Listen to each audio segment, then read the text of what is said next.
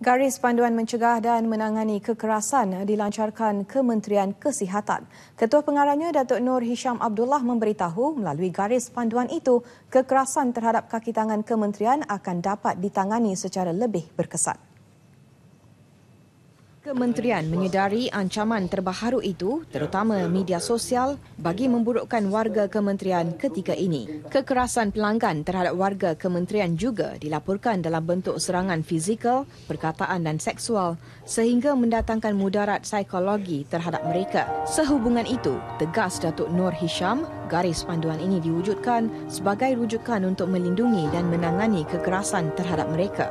Sekarang ni kita ada garis panduan. Eh. Garis panduan tu akan melihat dari segi perundangan, dari segi platform untuk kita menyiasat kes tersebut dan juga macam mana kita boleh uh, uh, menangani kes-kes sebegini. Beliau melancarkan garis panduan mencegah dan menangani kekerasan terhadap anggota kementerian sempena sambutan kesihatan pekerja sedunia peringkat kebangsaan yang disambut setiap 28 April di Klang, Selangor.